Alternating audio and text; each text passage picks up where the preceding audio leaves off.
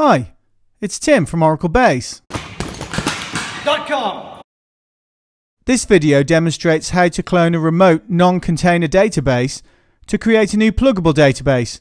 This feature was added in 12.102. If you've seen the video on cloning a remote pluggable database, this should look very familiar. We start by connecting to the non-container database.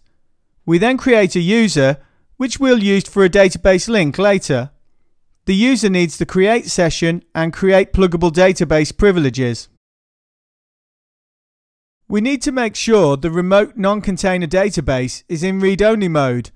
This requires a restart of the database.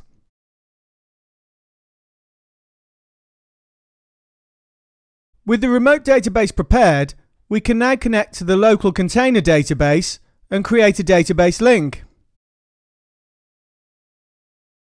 The clone operation looks similar to remote cloning a pluggable database, but notice the from clause. We don't have a pluggable database name to clone from, so we use non-$cdb. At this point, we'd normally open the new pluggable database in read-write mode to complete the registration, but since this wasn't originally a pluggable database, we have to perform a cleanup step first. We do this by switching to the new pluggable database and running the non-CDB to PDB script. Running the script took about 6 minutes on this test pluggable database, so I've sped up this part of the clip.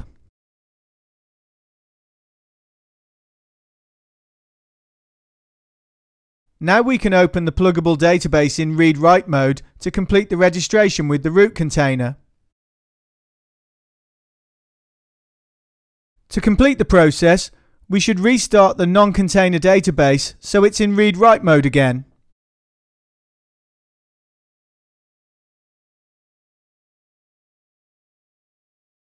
Let's clean up by closing and dropping the new pluggable database.